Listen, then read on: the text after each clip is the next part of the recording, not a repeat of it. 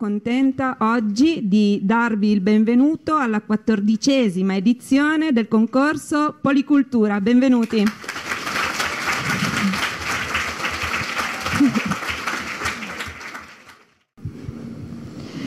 Quest'anno 182 iscritti e in 68 sono riusciti ad arrivare alla fine. 1350 studenti di cui voi siete parte, da 14 eh, regioni eh, d'Italia e quello che avete fatto, se lo dovessimo guardare dall'inizio alla fine, tutti i 68 lavori, staremmo qui per 18 ore. Passiamo adesso alla scuola secondaria di primo grado.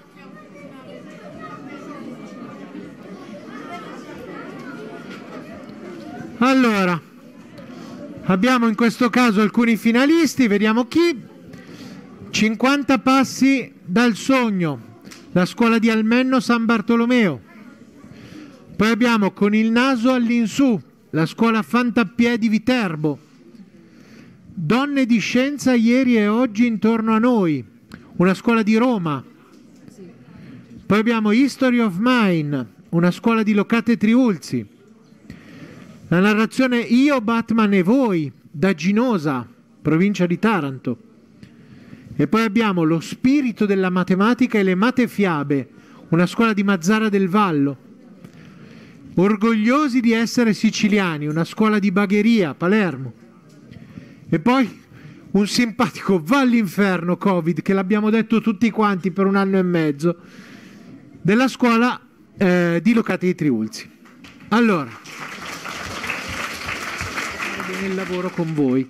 E quindi diamo per ogni livello ordine scolastico questi premi separati. Poi ovviamente fra tutte diciamo sì, bene le, i vari aspetti, però ce n'è una che spicca più di tutti e noi la chiamiamo il premio overall.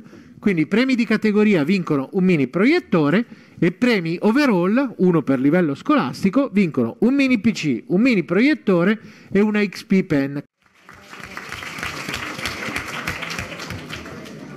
E vincitore overall è con il naso all'insù, prima A dell'Istituto Comprensivo Fantappiè di Viterbo.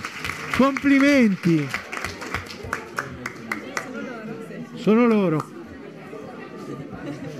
sono anche capaci di tenere una bottiglietta in testa, sulla testa senza muoversi, come i modelli. La narrazione multimediale con il naso all'insù esprime il lavoro di ricerca sul patrimonio artistico e culturale di Viterbo. Le citazioni storiche, le leggende e le immagini fotografate realizzate dagli alunni si intersecano gradevolmente con le voci narranti. La valorizzazione del paesaggio culturale locale fornisce significativi elementi per incrementare nei giovani il senso di appartenenza al territorio, il senso di cittadinanza e di responsabilità responsabilità nella cura del bene comune. Lo storytelling, supportato da meccanismi narrativi efficaci, mette in luce il risultato della didattica supportata dalle tecnologie. Lavoro molto valido che nonostante i limiti imposti dalla pandemia è riuscito a generare benefici legati allo spirito di gruppo. Bravi. Fatto sta che il premio della giuria popolare, che quindi è fra diciamo tra tutti e 28, puoi andare a qualsiasi livello scolastico e va con il naso all'insù. Prima A dell'Istituto Comprensivo Fantappiè di Viterbo.